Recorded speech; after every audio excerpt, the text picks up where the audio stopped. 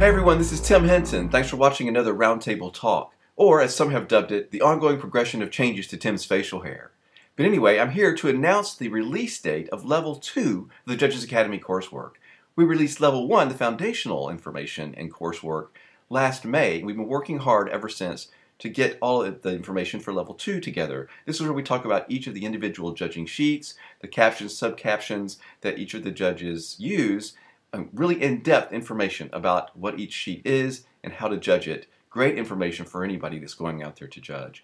So level two of the Judges Academy, which is, which is available to graduates of level one, is going to be released and you can start on Monday, March 23rd. That's the date at which you will be able to uh, begin the coursework if you are a graduate of level one. That's Monday, March 23rd.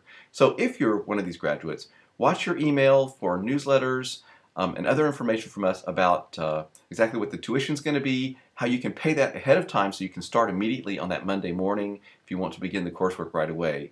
Um, don't forget that if you're uh, one of our students for level one, we've had lots of students, great response to that. Um, as soon as you graduate from level one, you get added to the new judges registry. We've already had students tell us they've gotten contacted about dates contest promoters looking for um, good judges with training. So it is working. It's a great way for you to begin and, and continue to find more judging jobs.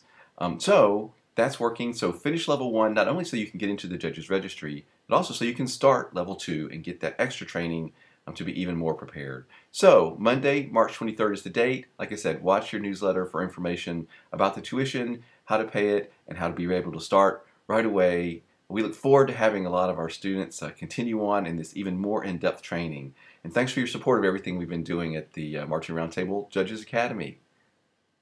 Have a question for a roundtable talk or have a suggestion for a podcast topic or guest? Go to marchingroundtable.com and click here on feedback or here on Ask Tim a Question. Don't forget you can always find podcasts on topics that interest you by searching in our podcast archives. And when you go to YouTube to watch a Roundtable Talk video, make sure and subscribe so you never miss a single episode of Roundtable Talk.